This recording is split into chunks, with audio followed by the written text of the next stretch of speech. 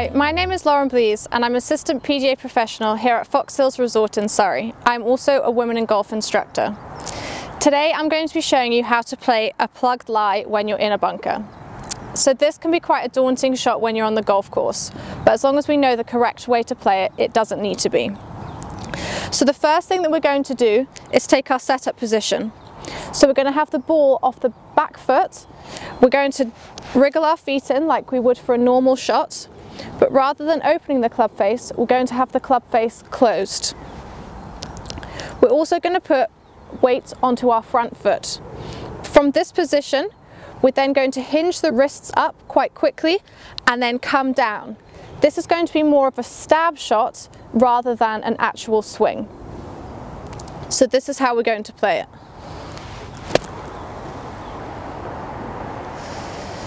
So as you can see, the follow through wasn't as big as you would normally have for a shot. We want to try and hit down on the sand to try and help to pop the ball up in the air. I hope this helps and enjoy your game.